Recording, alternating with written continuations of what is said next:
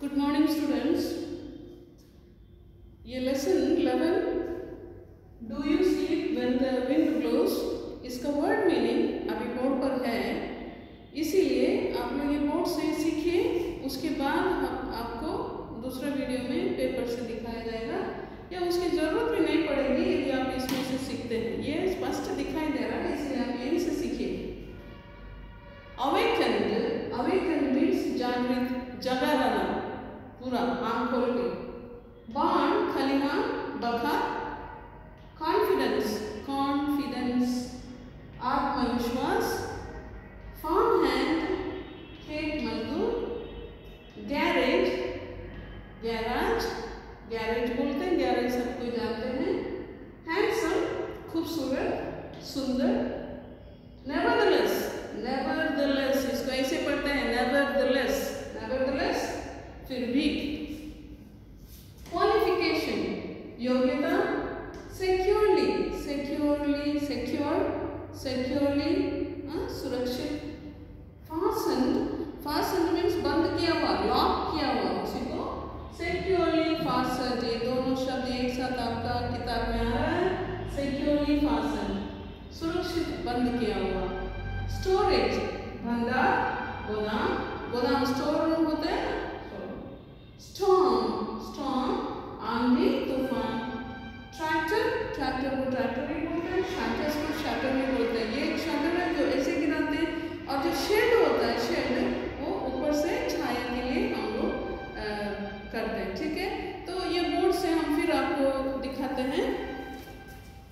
देखिए बोर्ड में जो आपके लिए यदि स्पष्ट है तो आप यहाँ से बोर्ड से सीखिए।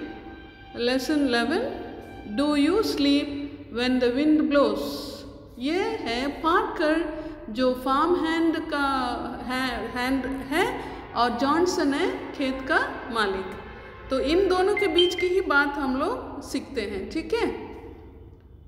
देखिए वर्ड मीनिंग अवेकंड जागृत, बाण खलिहान बखार कॉन्फिडेंस आत्मविश्वास फार्म हैंड खेत मजदूर गैरेज गैराज या गैरेज हैंडसम खूबसूरत, सुंदर नेवरदलेस फिर भी क्वालिफिकेशन योग्यता सिक्योरली सुरक्षित फासेंड बंद किया हुआ स्टोरेज भंडार, गोदाम या स्टोर रूम स्टॉर्म आंधी तूफ़ान ट्रैक्टर शटर्स शटर दोनों अंग्रेज़ी शब्द, हिंदी शब्द में हम लोग सब एक ही बोलते हैं।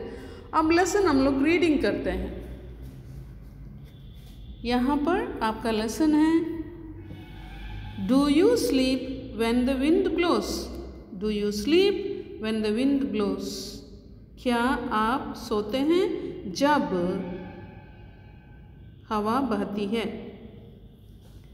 यहाँ का जो भी शब्द है, नया शब्द, इसको आपने बोर्ड पर देख लिया। इसका अर्थ भी आप देखे हैं। केवल आपका काम है, इसके, इसको अच्छा से पढ़ना है। शब्दों का, नए नए शब्दों का अर्थ जानना आपके लिए बहुत ही अच्छा है, आगे के जीवन के लिए भी।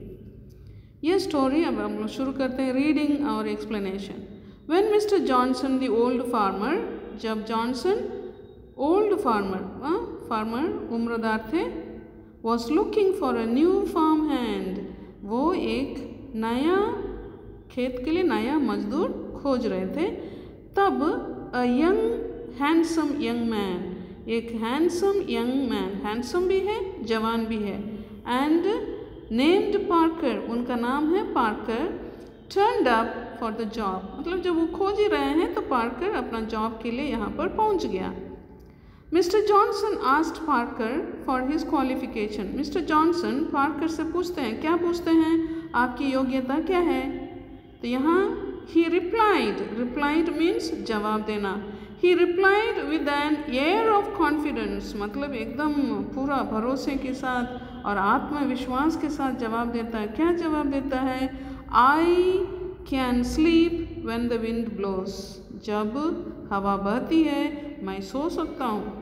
द स्टेटमेंट यानी यह वाक्य है पजल्ड द फार्मर फार्मर को क्या किया? पजल कर दिया। दुविधा में डाल दिया कैसे जवाब दे रहा है? जब हवा बहती है, मैं सो सकता हूँ।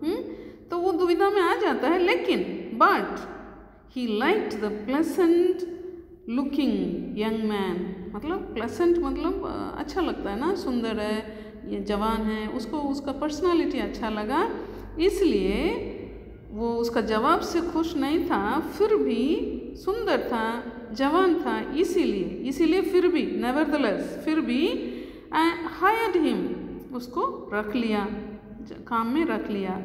अ फ्यू डेज़ लेटर कुछ दिनों के बाद Johnson and his wife were awakened in the night Johnson और उनकी पत्नी रात को जग जाते हैं अवेकन्ड जग जाना in the night by a violent storm तूफ़ान, भयंकर तूफ़ान से उन लोग जग जाते हैं।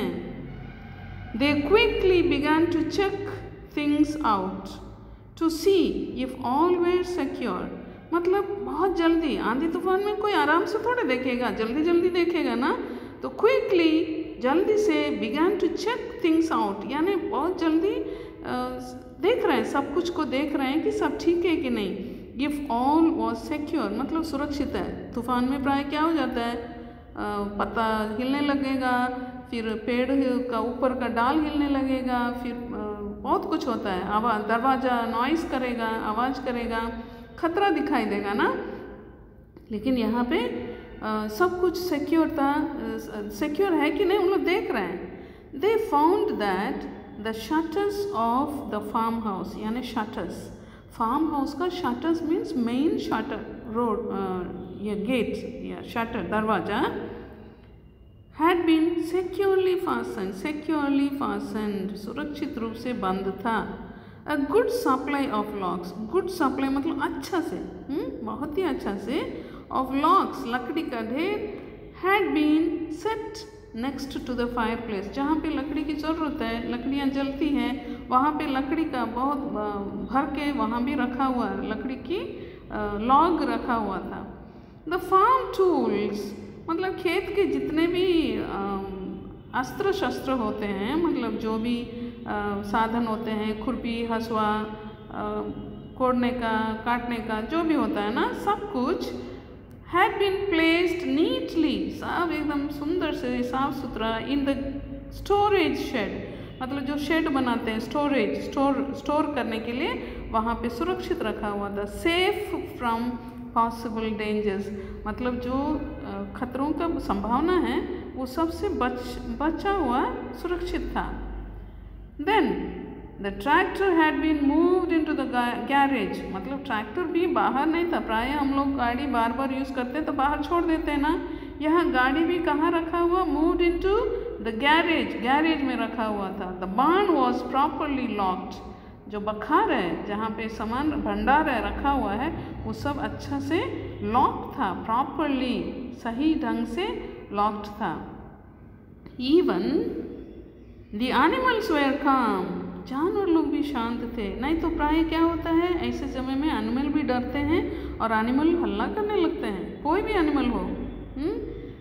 कोई भी एनिमल चिड़िया हो, आप यदि आपके घर में रखते हैं तो तोता से लेके मैना से लेके, गौरैया से लेके, कुत्ता हो, बिल्ली हो, कोई भी जानवर, गाय यानी यानी एनिमल आप यदि अपने पास रखते हैं तो वो हल्ला करेगा। लेकिन यहाँ सब कुछ शांत था।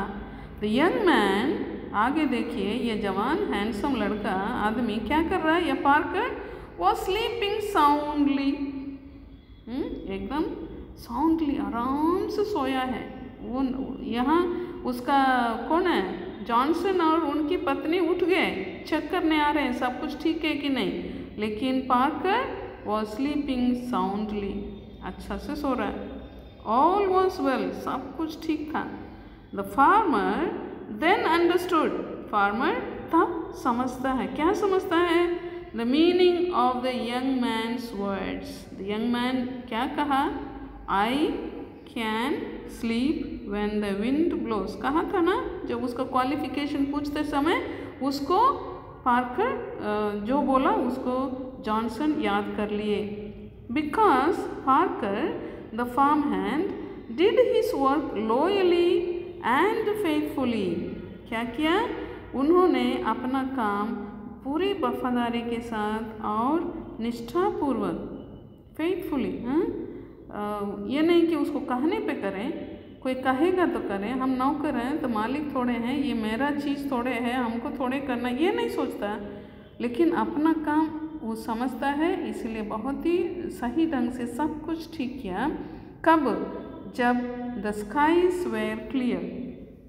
जब आसमान साफ़ था, उसको पता था कि स्टॉम आ सकता है तो स्टॉम आने के लिए वेट नहीं किया।